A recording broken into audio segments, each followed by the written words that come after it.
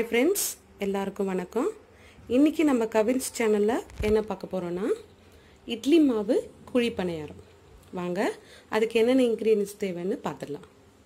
இப்போ இதுக்கு இட்லி மாவு வெங்காயம் தேவையான அளவு எண்ணெய் தேவையான அளவு உப்பு இது கருவேப்பிலை பச்சை மிளகா புதினா.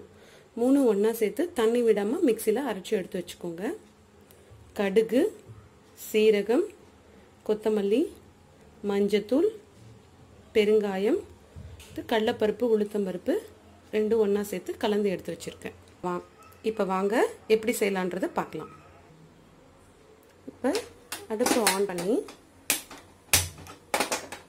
சிம் பண்ணிக்கோங்க.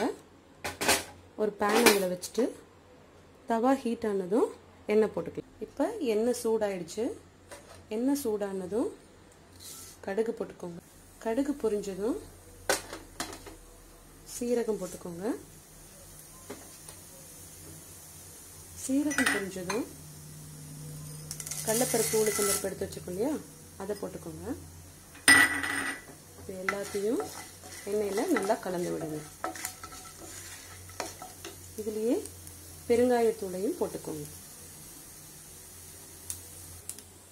இப்போ கடலைப்பருப்பு உளுத்தம்பருப்பு எல்லாம் நல்லா வறுபட்டுடுச்சு. இப்போ இந்த பச்சை மிளகா புதினா கருவேப்பிலை அரைச்சி வச்சுருக்கோம் இல்லைங்களா? இதையும் இதில் சேர்த்து நல்லா வதக்கி எடுத்துக்கோங்க. இப்போ பச்சை மிளகாய் நல்லா எண்ணெயில் வதங்கினதுக்கப்புறம் வெங்காயத்தை போட்டுக்கோங்க. இப்போ இந்த எண்ணெயில் வெங்காயம் வதங்கின போது நீங்கள் இந்த வெங்காயத்துக்கு தேவையான அதாவது நம்ம ஆல்ரெடி மாவில் உப்பு போட்டிருப்போம். இட்லி மாவு கொஞ்சமாக இருக்கு இல்லைங்களா? அதில் ஆல்ரெடி நம்ம உப்பு போட்டிருப்போம். இப்போ இந்த வெங்காயத்துக்கு தேவையான அளவு உப்பு சேர்த்துக்கோங்க. அதுலேயே தேவையான அளவு மஞ்சத்தூள் சேர்த்துக்கோங்க. இப்போ இது எல்லாத்தையும் நல்லா கலந்து விட்டுக்கோங்க. இப்போ வெங்காயம் நல்லா வதங்கிருச்சு. இந்த நேரத்தில் நீங்கள் அடுப்பை ஆஃப் பண்ணிக்கோங்க. அடுப்பை ஆஃப் பண்ணிவிட்டு நீங்கள் கொத்தமல்லி இலைகளை இதிலேயே போட்டு வதக்கிக்கோங்க. நல்லா ஆறின பிறகு இந்த மாவில் கொட்டி கலந்து எடுத்து வச்சுக்கோங்க.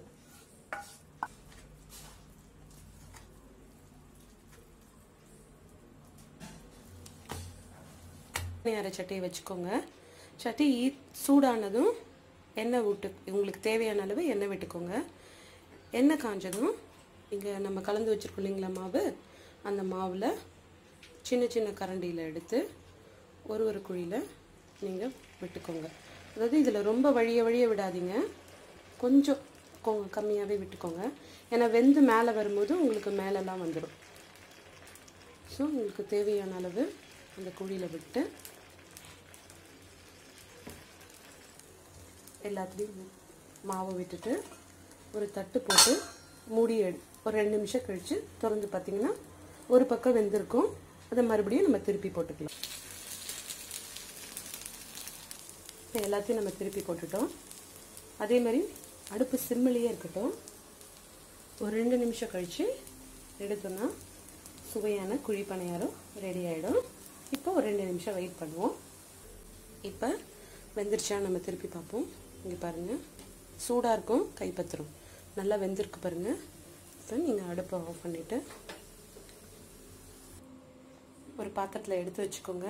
இப்போ இது நீங்கள் தொட்டு பார்த்தாலே தெரியும். பாருங்கள் பஞ்சு மாதிரி புசு புசுன்னு இருக்குது பாருங்கள் இப்போ சுவையான இட்லி மாவு குழி பணியாரம் ரெண்டே நிமிஷத்தில் ரெடி ஆயிடுச்சு.